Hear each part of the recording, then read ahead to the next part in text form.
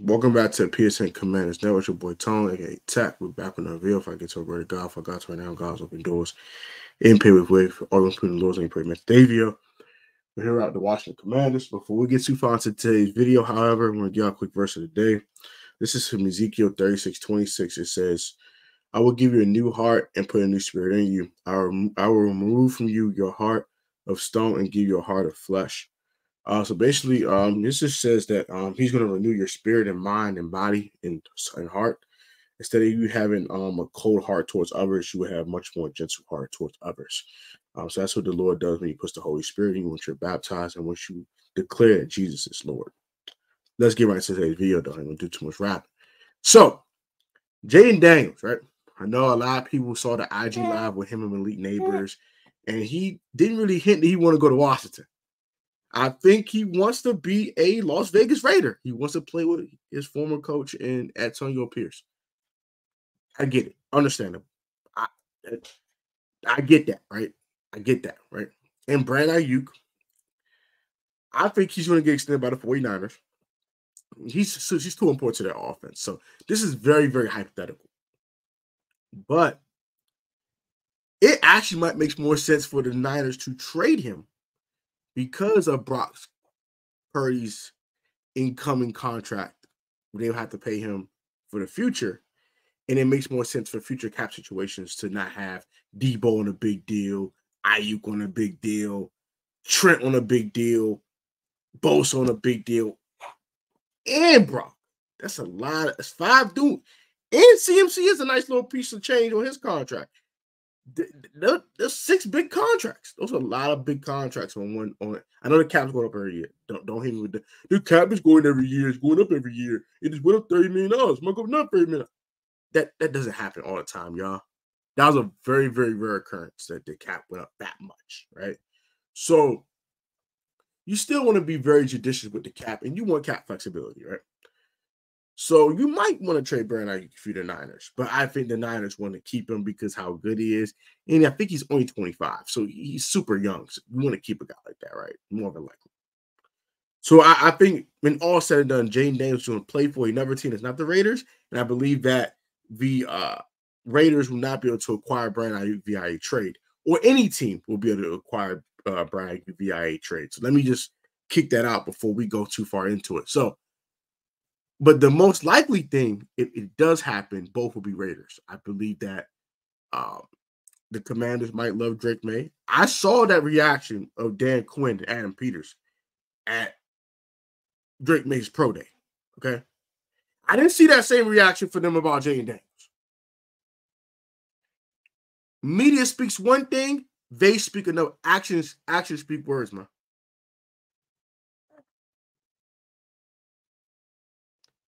Action talks, bullcrap walks. I saw that reaction from them at Drake Maye's Pro Day. The reaction to the beginning and the end. It was vastly different. And they got to really chop it up with bro. They might like Drake Maye more than Jayden Daniels. And this whole Jayden Daniels of Washington smokescreen is just a smokescreen. Maybe. Think about it think a little bit, man. Let's think a little bit, right? All this J and Dane, J and Dane, J and Dane, J and J and and J and J and J. Eight, they, they, they, they just shoving it in your face. Jay and Dane's Washington. Jay and Dane's Washington. Schefter's doing it. All these other dudes doing it. Tom Pelissero, all these other guys. Jay Colin Cowherd, all these guys are just penciling Jayden Daniels as number two pick overall. But if you're a Washington Commanders fan, you study this team, you saw how they reacted to Drake Maye's pro day. You saw the awe, the, the, the emotion, the reactions to Drake Maye's pro day. And I'm sure they watched the tape too. He wanted to see bro in person. I'm telling you, Jada. They might be going upside over floor. And they might take Drake. So if they do take Drake at two, the Patriots are open for business at three, right? That will allow the Rays to come up and go get Jayden Daniels and then to maybe acquire Brandon Aiyuk in another way, right? Maybe with 2025 draft capital. Might not be 2024 draft capital. right? So that's kind of more likely. It's gonna be harder, but it's I think it's slightly more likely they do that rather than, you know, just yeah, than Washington do it. But let's let's talk about I ramble enough about how other teams can do it. How can the Washington Commanders do it? It's a lot easier for the Commanders to do it. They can just take Jayden at two, call and call uh, Adam Peters knows the Niners very well. Call the Niners up. Hey, bro, I will give you this 36 pick in the draft right now for Brandon Aiyuk. Take it or leave it. Hang up the phone. Now we're gonna say, oh, but you gonna have Terry and Aiyuk on big contracts. Guess what, buddy? Terry has two years left on his deal. That's it. Listen, out after this year. Not saying they're trying to replace Terry. So chill out. But it's feasible. If you extended Terry this offseason to lower his next two cap numbers, it's feasible. If you gave uh uh Terry McLaurin a two-year extension and backloaded the contract to where when he's getting paid when he's getting the higher cap numbers, the cap is going up. It's feasible. And the second round pick for Aiyuk, it's not bad. It's a bad idea. Right?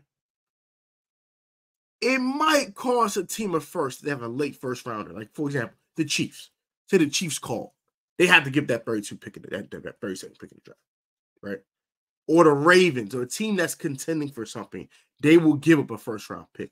But a team like the Commanders, who aren't really aren't ready to win yet, right? And we had the number two pick in the draft. I don't see us giving a number two pick in the draft for a Aiyuk. That's crazy, right? So the next best thing is a early second round pick, which is an extension of the first round. Because not everyone's gonna be a first round pick, y'all. So it's easier for the Commanders to pull off in the Raiders, but I think both of them want to play for Vegas if they if they uh if they had a choice. I believe so. I really believe they want to play for Antonio Pierce.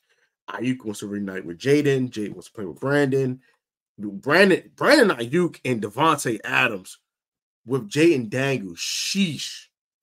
You talking an offense. And I like Michael Mayer. So you're talking an offense.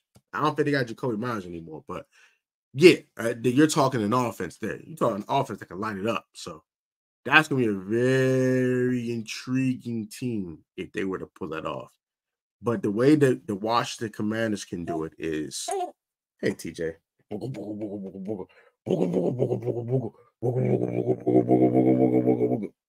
Hey TJ. Hi TJ.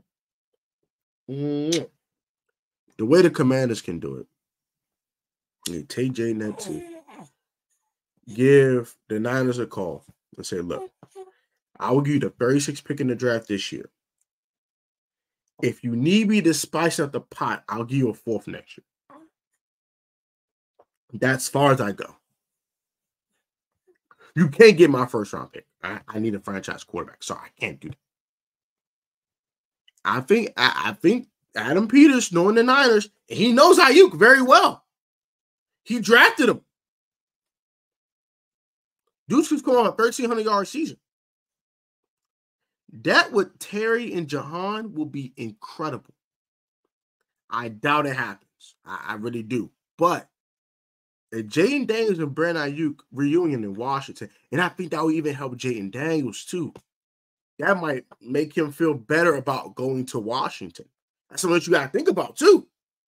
How to appease your franchise quarterback. Because you take a number two in the draft, you take Jayden Daniels number two, he is your franchise quarterback. In a discussion, there's no debate. He needs to be the guy for the next 10 daggone years, period. 10 to 12, at least, bro. At least seven, bare minimum seven, but more likely 10 to 12 years. He needs to be your guy, and you need to win with him on that rookie deal. So, how do you do that? You let him reunite with a guy you played at Arizona State with as a certified dog. That that just had a 1,300 yard season. That I think only 25 years of age. And bro can play. And he could be the heir parent to Terry McLaurin as wide receiver one on the Washington Commanders. That's just my thoughts, man. What are your thoughts on this Aiyuk Jayden Daniels possible reunion in Washington. Would you trade for Aiyuk? Would you give Aiyuk the extension he wants? I would. But the cheaper route is to draft a receiver. And I'm not mad at that. I think we still should draft a receiver if we can't get Aiyuk. I will. These are five targets. I'm I'm, I'm, I'm explaining these five targets in another video.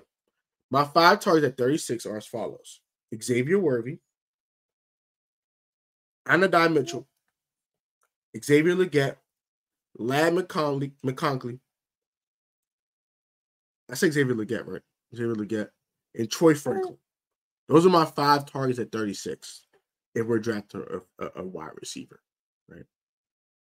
I'll give you my top five targets for corners, all that in other videos. I'll give you my top five targets for every position in the NFL draft and why I think they would be drafted and why. And we'll go ahead and do that very soon. That's gonna do it for today's video. Hope guys, hope guys like it, enjoy it, and give me your thoughts in the comment section. Would you like a reunion of Brandon Aiyuk and Jayden Daniels in Washington to uh, start this retool, recalibration, rebuild, whatever you want to call the goddamn thing. They don't want to call it a freaking rebuild. They want to call it a recalibration. So we're going to call it a re freaking calibration. What are your thoughts on this to start the recalibration of the Washington Commanders and making them a new image of a football team?